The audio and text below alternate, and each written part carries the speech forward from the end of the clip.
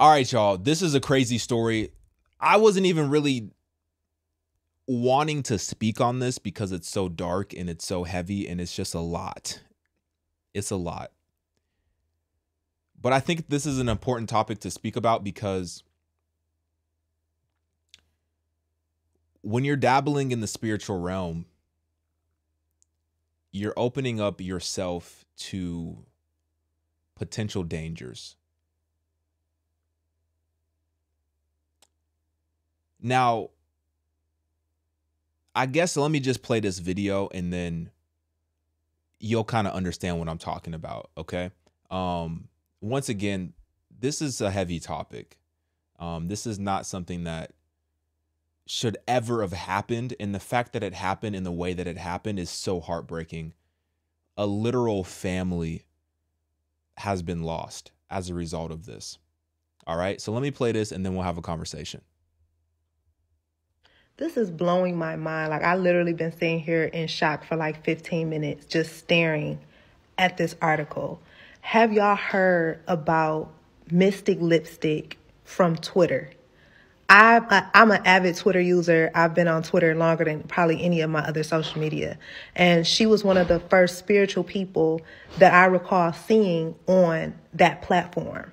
She was just retweeted to my timeline talking about the eclipse and like this tweet, she's talking about um, how it's spiritual warfare and she's talking about get your protection on, get your heart in the right place.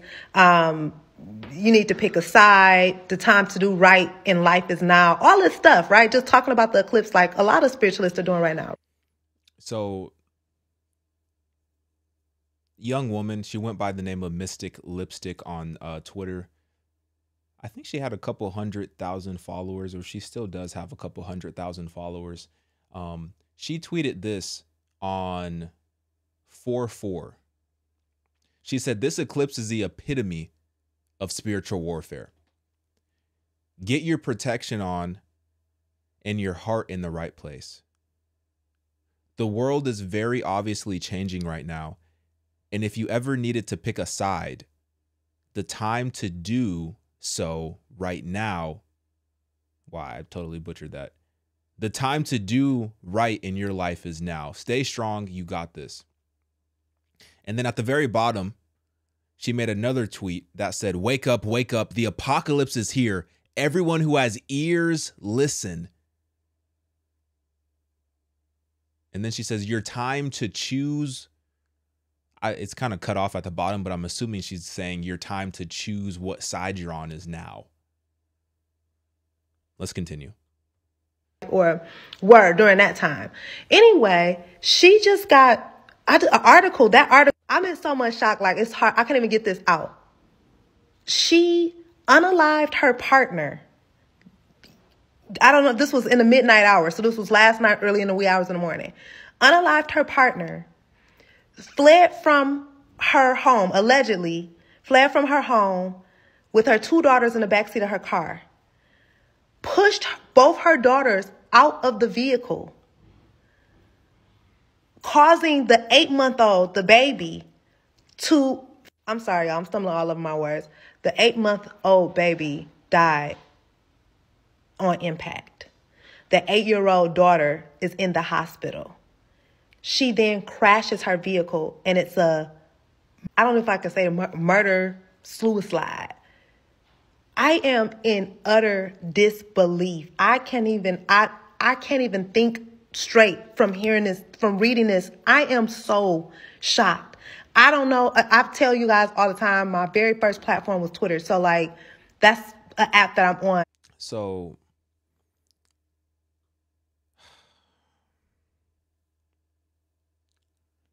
Here, let me give you another angle. This is from Fox News. This case has been so shocking from beginning to end, and now we're learning about a new disturbing layer to this tragedy. A lot of our foundations as a society are toxic. They're mm-hmm. ungrounded and they're mm-hmm. unrealistic. LAPD confirms Danielle Johnson, aka Danielle Ayoka, seen here on the Scotty and Sylvia show, was an astrology influencer on social media who was concerned about the eclipse. Eclipses, there's more births, there's more deaths. Leading up to the eclipse on Monday, Danielle, who went by the handle Mystic X Lipstick, made several alarming posts like these. Wake up. She said, Wake up, wake up. Oh, this is what it said. Wake up, wake up. The apocalypse is here. Everyone who has ears, listen. Your time to choose what you believe is now. If you believe a new world is possible for the people, retweet now. She said, If you believe a new world is possible for the people. Retweet now. There is power in choice. There is power in choice. Repost. Up. The apocalypse is here. And the eclipse is the epitome of spiritual warfare. She also reposted alerts that signaled this is the final warning. Something big is coming. Mm. This type of story is, is, is probably one of the most tragic and horrifying stories that we'll ever hear about. Like the rest of us, clinical psychologist Dr. David Swanson, who never treated Danielle, is trying to make sense of this horrific tragedy. Just hours before the eclipse was to take place over California, Danielle stabbed her boyfriend to death in Woodland Hills, pushed her kids out of a moving car on the 405 freeway in the Westchester area, which resulted in the death of her eight month old baby and the injury of her nine year old daughter. Mm. Then Danielle died after crashing her Porsche into a tree in Redondo Beach. Perhaps she thought that this eclipse meant that it was the end of the world. The apocalypse was here, uh, especially because of some of the statements that she made. There were plenty of similar posts and videos on social media predicting all kinds of disasters and the end of the world.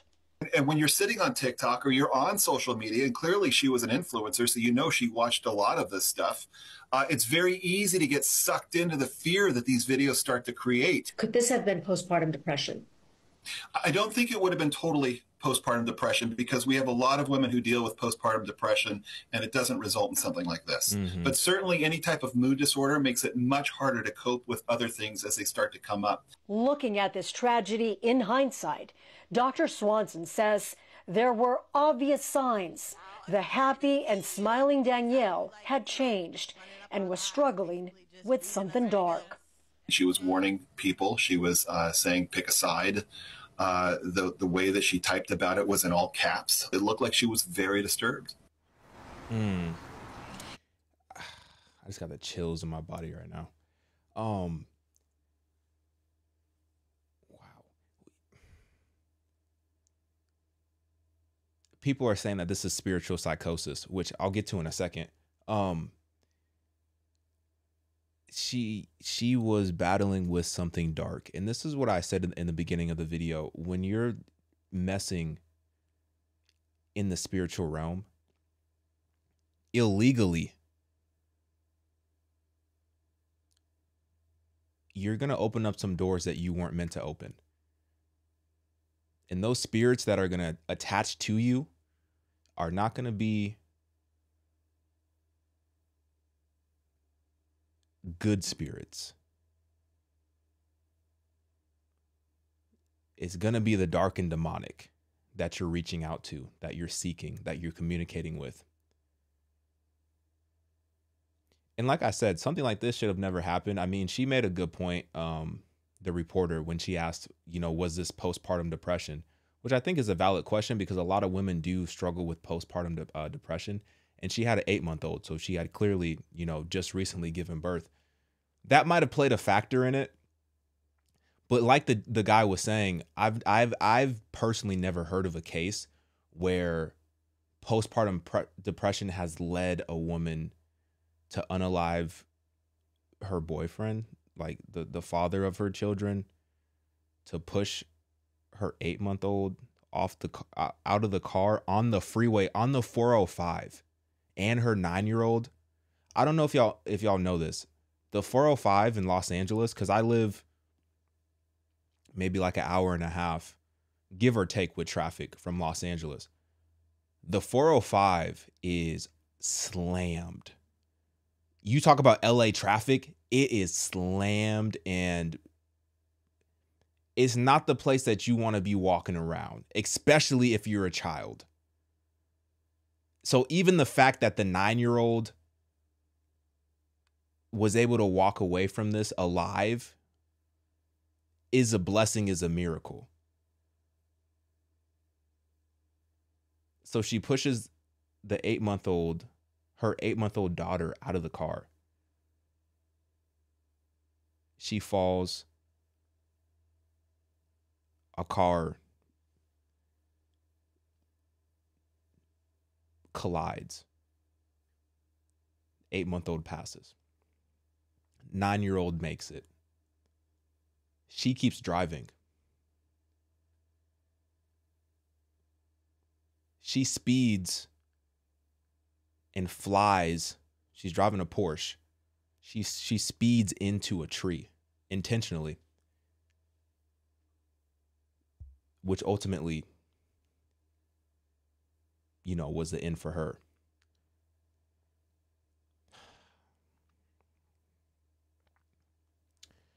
I don't know what spiritual psychosis is. Um, I keep hearing this so much. Spirit, spiritual psychosis, spiritual uh, psychosis.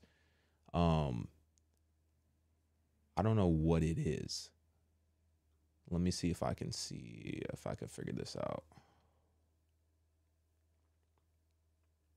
So there's an article. Um, huh. What is this? Signsoflife.au.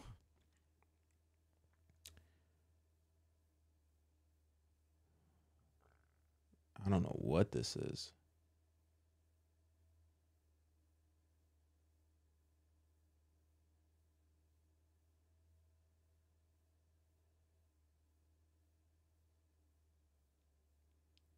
So it says oftentimes these spiritual emergencies are mistaken or confused for a mental health crisis or psychosis due to, due to the similarity in symptoms, behaviors, and thought patterns expressed during spiritual emergencies, and psychosis exemplify a loss of rational thought. Such symptoms include disorganized behaviors, irrational or confused speech patterns, and significant alterations in the way they view themselves and their place in the world. People often shift priorities from everyday concerns to other less ordinary concerns and an altered perception of time.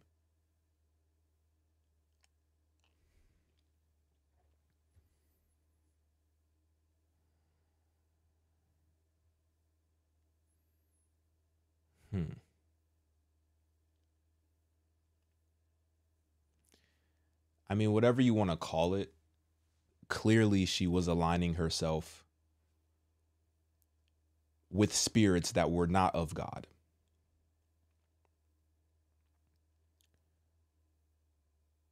Demonic spirits.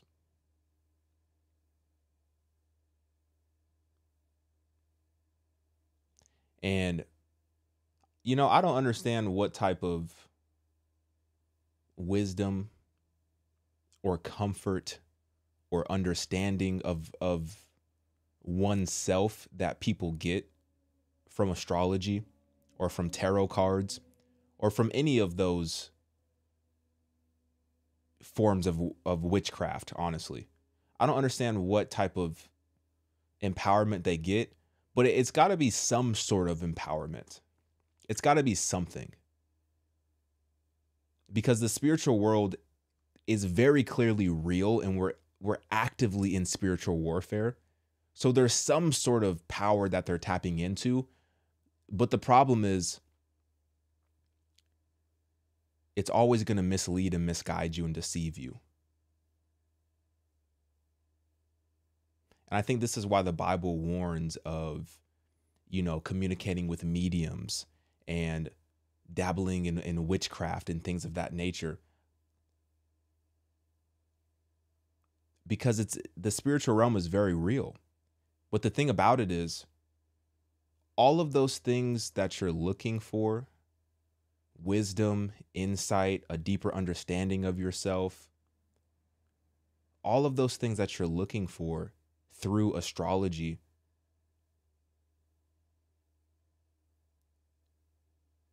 God has those answers for you. He's the one that created you. The problem is the devil is a master manipulator. He's a master con artist. And he can't do anything new. He just recreates and perverts the things of God. You don't need to go to astrology, to the to signs, to the moon. You don't need to go to these things in order to understand about you or to understand about your personality or to understand any aspect of your life when you have access to God. He knows everything about you. Literally the exact number of hair on your head he's numbered he knows he understands he gets it and he gives you power in all of and god gives us power and authority in the spiritual realm over all of the dark and demonic spirits. We have power and authority over them. But people i don't know man. I don't know why people get into this stuff. It doesn't make any sense. It doesn't make any sense. I think if people truly knew God's heart, there would be no way that they would want to get into, you know, being a, uh, like devoting their life to astrology or devoting their life to tarot cards or any of that stuff. If you truly knew the heart and the nature of God and what He wanted for you and the promises, the promises that are offered in the Bible, I don't know how you could go to the counterfeit. I don't know how you could take what the devil has, which is which is counterfeit spirituality. I don't know how you could go in that direction if you truly knew the heart of God in his desire. And that's what we need to do a better job of is communicating the love of God, communicating the relational aspect of God, communicating the promises and the will that God has for each and every one of us. And communicating the power and authority that God has given us, those who have their faith in Jesus Christ. The power and authority that God has given us in the spiritual realm already. I don't know, man. It's crazy stuff. Um, I mean, I, I'm look. I'm praying for that nine year old, Lord. I, I, I pray that you protect, you protect that that little girl. You protect your child. You protect that baby. I'm praying that she has family that she can grow up with or friends that she can grow up with, Lord. I'm praying that you just have your hand on her life all the days of her life, Lord, that you comfort her in this time of confusion, in this time of pain, in this time of loss. I pray that you fill in the void, that that void that she's feeling, that gap, that that that missing piece of of herself, that love that she received from her father, from her mother, from her sister. I'm praying that you can fill in that gap, Lord. Man, it's a tough story. Um, it's a tough story. Let me know what y'all think. Get in my comments, like this video. I'm out, y'all.